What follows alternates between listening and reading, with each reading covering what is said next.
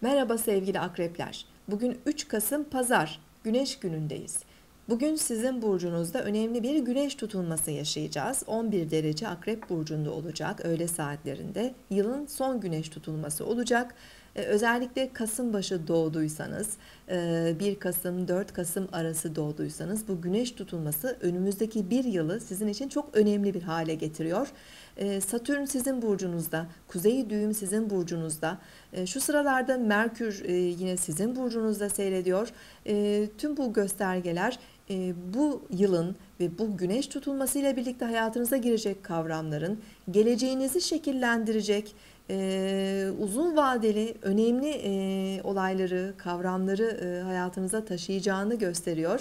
E, bunlar e, kariyerinizle ilgili olabilir, bir iş değişimi, yeni bir başlangıç, e, yeni bir terfi, e, yeni bir atama, e, işinizle ilgili tamamıyla yapacağınız yenilik olabilir Özel ilişkilerinizle ilgili başlangıçlar ya da değişimler, dönüşümler olabilir. Yaşadığınız yer, mekanlarla ilgili değişimler olabilir. Kişiliğinizle ilgili hayata bakışınız, farkındalığınızla ilgili önemli değişimler içerisinde olabilirsiniz. Her durumda bu tutulmanın baş kahramanı sizsiniz. En fazla etkiyi de siz alacaksınız.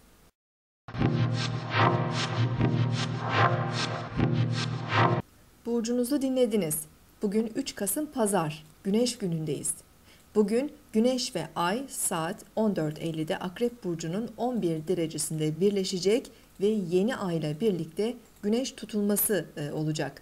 Akrep teması olan değişim ve dönüşüm enerjileri taşıyan bu tutulma kuzey düğüm yönünde Satürn ve Merkürle kavuşum halinde olacak. Akrep enerjilerini çok yoğun hissedebiliriz e, bu dönemde hayatımızda. Ortak paylaşımlar, e, hisseli paralar, ekonomi, şirketler, miras, ölüm, doğum, cinsellik, her türlü konuda dönüşüm, gizli kavramlar, e, sağlıkla ilgili konular, özellikle ameliyatlar, operasyonlar kendi hayatımızda veya çevremizdeki kişilerin hayatlarında biraz daha fazla gündemde olabilir. Kişisel haritalarımızın yapısına göre etki alma derecemiz de bu tutulmadan değişecektir.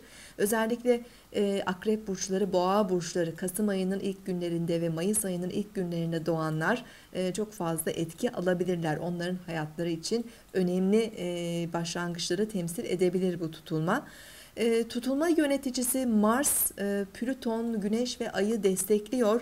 E, özellikle geleceğimizi şekillendirecek yeni girişimler ve başlangıçlar için cesaret, güç, destek e, ve enerjiyi, gerekli enerjiyi bulabileceğimizi işaret ediyor bu durum.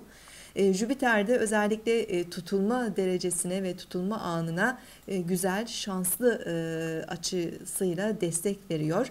E, hepimizin hayatına olumlu e, enerjiler getirmesi dileğiyle. Yarın tekrar görüşmek üzere. Hoşçakalın.